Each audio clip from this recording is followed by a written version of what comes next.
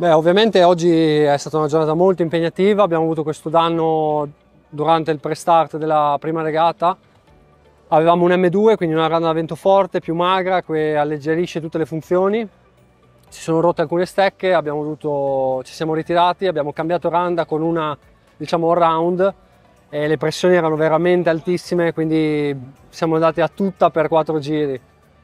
Beh, è stata secondo me la regata più faticosa su questa barca in assoluto fino, fino ad ora.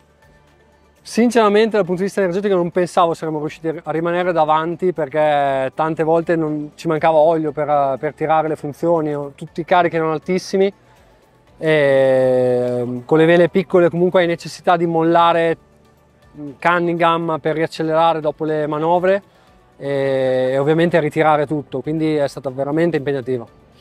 Sì, ovviamente c'era la, la voglia, una voglia forte di rivalsa perché eravamo tutti molto arrabbiati sia per la regata di ieri, che comunque è stata annullata, che per la prima regata di oggi dove ci sentivamo forti, abbiamo fatto tutto un warm up dove la barca andava veramente forte e questo danno abbiamo reagito molto bene come team, quindi siamo contentissimi.